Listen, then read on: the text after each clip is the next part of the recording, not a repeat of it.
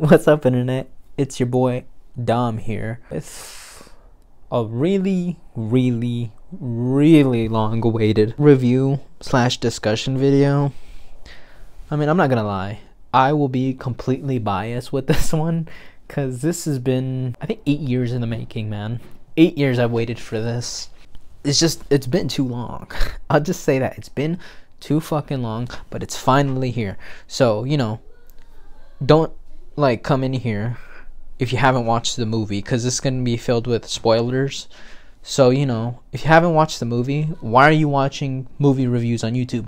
Go buy a ticket or watch it on Peacock. It's on Peacock right now. Like, I literally stayed up all night. I'm not even gonna lie. I stayed up so I could watch it and, like, fucking hopefully put this review out before anyone else. I'm gonna try to speedline this process because I want it to be on Rumble too. So I'm gonna try and keep it nice and short. But let's get into the nitty gritty of the movie. This movie is not one for one with the games, just like the books. You know, it's it's like a parallel universe. You know what I mean? It's it's their own telling of the story. So there's a lot of changes to this. So let's get into it. The story starts out with Mike Schmidt. You know, the the story the movie really, it doesn't tell you his last name. They make a point to not tell you because you know if you're a fan of the games you're gonna know automatically it's mike schmidt you know? But this adds an interesting little twist. And you know i'll tell you a little later when i get into it but basically the problem with mike is he's raising his little sister. And we don't know where his um parents are. All we know is his aunt's trying to fight to get custody of his sister abby because um early on in the movie Mike has this episode where he sees this man like taking his son and like this triggers PTSD Mike has. So Mike fucking tackles a guy and beats the shit out of him. So you know, he's a security guard at the fucking uh, at the mall this happens at. So he gets fired and he's looking for a job. And you know, this is where we get backstory on Mike. His little brother went missing and he can't keep a job. You know what I mean? His parents, nobody knows where his parents are. They don't tell you in the movie. They just it just says that they're gone. That's really it. There's no like more implications than that. But we know he still dreams every single night about his brother, trying to piece together who was the one that captured him, who took him away. Because some man just took him away while they were on a fucking family picnic. And he saw the man, so uh, there's this book that that's in the movie. It's really cheeky. Sorry about the noise outside, by the way. Um, it's my neighbors. So, you know, all the fucking yelling and all those don don don don don. The construction crew outside, they fucked up my road. I guess because there was a bunch of assholes speeding. So they put, they literally filled it with a bunch of like, not potholes, but you know the pothole covers, whatever that material is fucking made out of the entire fucking street is now filled with that. So every time a car passes by, all you hear is don't don't don't. They like this neighborhood's going to shit. Besides that, besides the noise complaints, let's get back into it. Mike's trying to piece together who the fuck took his brother. So he has this book called Dream Theory. Which you know, if you're a FNAF fan, it's funny to you because like the first four games, it was thought that they were all a dream, which is Dream Theory. You know what I mean? Like, oh man, like what really happened in the first four games didn't happen, so everyone got really pissed off, which caused the game creator to rewrite the story. So it's funny that they nod to it in the fucking movie, or maybe this is a direction he was trying to go in all along. But in the movie, in the movie, Mike is using dream theory so he can um, remember every single fucking instance of that day when his brother got kidnapped so he can like piece together who was the man driving the, the car, who was the man behind the slaughter. Anyways, so uh, he goes to his career counselor. His career counselor is like, bro, you can't keep a job, but you know, if you're really, really, really desperate, there's this one job that uh, that is hiring. Mike declines initially, but then you know his aunt presses him for custody of Abby, you know, his little sister. So that's when uh, Mike, falls under pressure, takes the job. He takes the job, and then um, you know he meets all these wacky characters. He meets all the animatronics, he meets Vanessa, but in the background of the first two days, it's shown that there's a girl babysitting Abby. But you know, around the second night, I think, after Mike has all these dreams of the little kids who went missing, the fucking uh the babysitter is revealed to be working with the aunt of Mike to take away Abby. Like she's just spying on him. So they concoct this plan to get him fired. They're like, "Oh, he's a security guard at this place. So if we break into this place, he'll get fired." So you know, the babysitter and her fucking friends they all break into Freddy's and they get killed by the animatronics. Now, uh, this causes Vanessa to come in the next day and see um fucking Abby just chilling with the animatronics because at this point they're cool with Abby but with adults, they're very vicious and angry and they kill. But with little kids, they're cool. Vanessa scolds him. She's like, fucking Mike, why are you bringing this little girl here? Because an accident does happen, you know. Abby fucking uh, plays Bonnie's guitar and explodes on her. So Vanessa's like, oh, we'll fucking shoot you if bring this little girl back. But, you know, some time passes. And then, uh, I think like only a day really fucking passes. Where it's like, the, um, the kid who ends up being uh, revealed to be Golden Freddy is like, oh, we want your sister. You know, we want your sister, and we know you want to bring back your brother. You don't even want to figure out who it is. You just want to live in this memory with him forever. So we can keep you here if you give us your sister. And Mike initially agrees, but then he changes his mind when he reali- when he remembers his sister and realizes this is all like evil. This is all fake.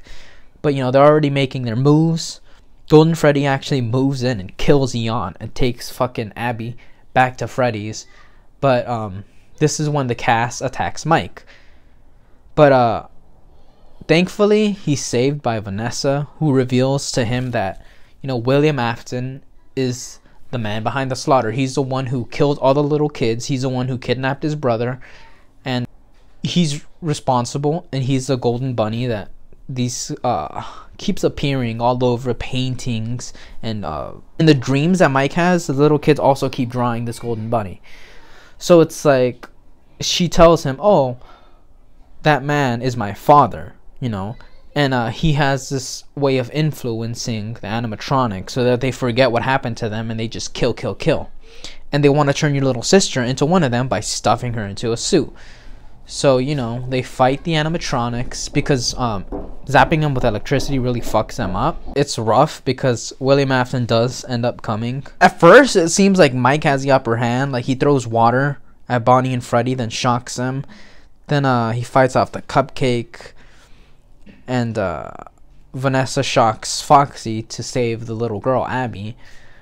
But, like, I don't know, just fucking Afton comes in and it's like he's like fucking beating the shit out of Mike because obviously he's in a giant animatronic suit. That shit like makes you strong as fuck.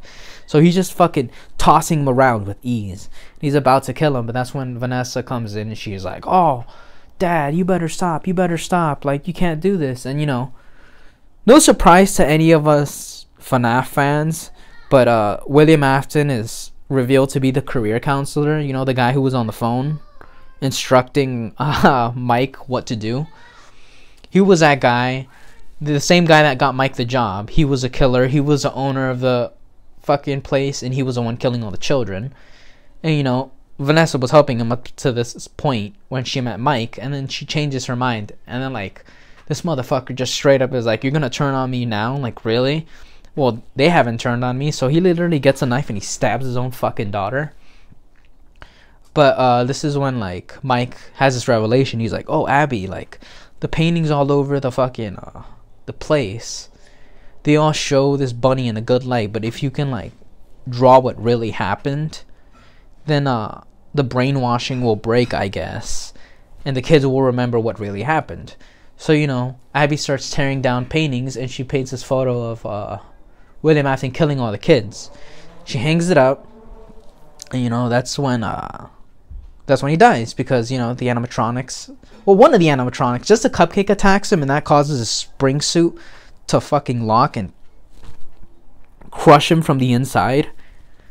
And you know he dies. Vanessa's taken to the hospital, and you know since her aunt is dead, Mike keeps full custody of Abby, and she's doing well. The final scene really is Golden Freddy looking at fucking Afton, like just like who's like shaking and dying and he reaches out his hand and Golden Freddy just closes his door on him. You know, so obviously it's left open for a sequel because this is an entire franchise. But the lore implications on this one are really, really fucking crazy compared to the series. Like I said, it's not one for one. So let me tell you the lore implications here. Lore implications here are one that Mike Schmidt is not related to William Afton at all. You know, everybody who plays the games, we all thought Mike Schmidt was his son, you know, Michael Afton's son. But then again, we have to remember that in this series, they tend to repeat names a lot, so it could be possible that there's two different Mikes. You know what I mean? The one that we hear at the end of uh, Sister Location and I think 3. He might be different than the one from 1, you know what I mean? But again, they're not one for one, so in in this iteration of Five Nights at Freddy's, Mike and William, they're not related at all. Vanessa appears earlier, and sh- she's not baby. The baby suit actually is in this movie, but it's not active, which means maybe they're gonna kill Vanessa later. But you know, they were trying to stuff Abby into that suit.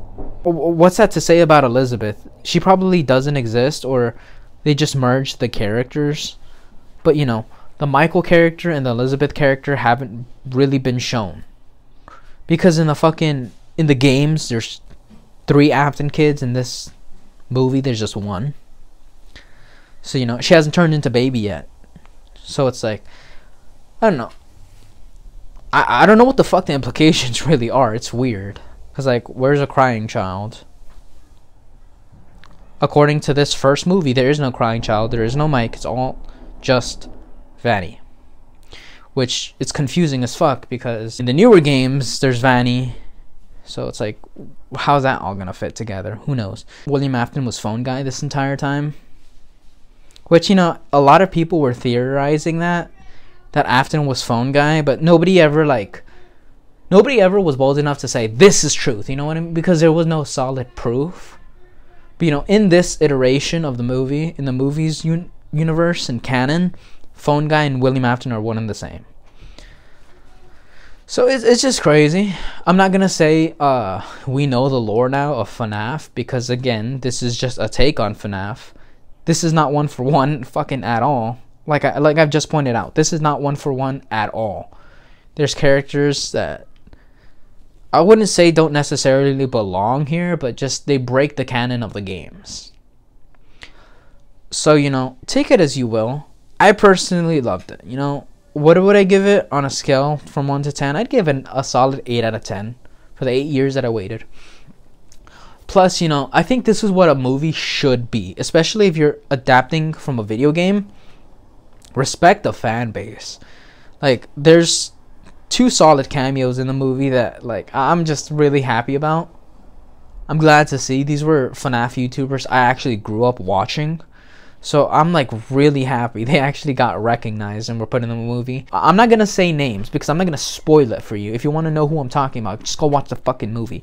I feel like this is definitely, definitely, definitely how a movie should be. You go to the fans. It's not just fan service in this fucking movie. It's like they just they they respect the lore. They they respect us as a fan base. You know what I mean? They they don't just see us as brainless, brainwashed idiots who are just gonna fucking flood the movie theaters. Like, no. I know a fan song actually makes it onto the fucking movie at the end in the credits. The FNAF song actually makes it in the end. But you hear songs from the game scattered throughout. It's, it's just nice. You know what I mean? It's very nice that they got the fans involved. I feel like that's what every movie should be. You know what I mean? I'm not saying, oh, bring the fans in all the time. That, that would make a shitty product. What I'm saying is, fucking don't treat us like mindless idiots. You know what I mean? Don't don't treat us like just numbers. They're gonna rush to your movie theaters and like throw money at you. Like this movie really respected the lore, and I like that. So I highly recommend you go watch it. Do me a huge favor though. Like this is a huge favor. Like, you don't have to comment, but subscribe. And if you can, please share this video. Share this video around. I don't usually ask for that, but my goal, my dream, really, is to make some money off this YouTube shit. Because I want to save enough money to buy that Chica animatronic one day. You know, the actual on-set Jim Henson Chica animatronic. I want it. I want I want it. I need it to be mine, bro. Like you know what I mean? You you hear these tales of these millionaires who buy these like these super expensive uh, set pieces off auctions from like movies, like you know people who have like real life stormtrooper suits and shit. Like I want the real life Chica animatronic. That'd be pretty fucking nice. So share this video and one day, maybe one day we'll make that happen. You and me together, bro. But yeah, uh, highly recommend you go watch it. Until next time, I've been your Dom. Later.